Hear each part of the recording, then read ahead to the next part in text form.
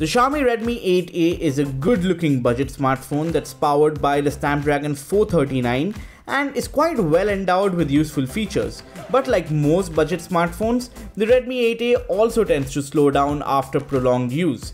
Here's how to speed it up. A big reason for the phone slowing down is having too many apps installed. Start with uninstalling the apps you don't need. To do this, simply long press on the app on the home screen and click on uninstall. The phone also slows down with too many files stored in the memory. Apps like WhatsApp stores all the good morning messages you get and eats up the storage. Download this app called Google Files app from the Play Store and clean up cache data, duplicate files as well as large files. A crowded home screen also consumes a lot of RAM and slows the phone down. To Clear up your home screen, remove the widgets that you have on your home screen that you don't need.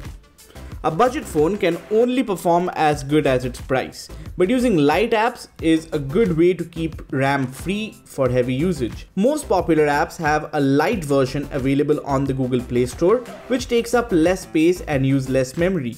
We recommend that you install these apps instead of their full versions. So these are some of the ways you can speed up the Xiaomi Redmi 8A if it's slowing down. Thanks for watching.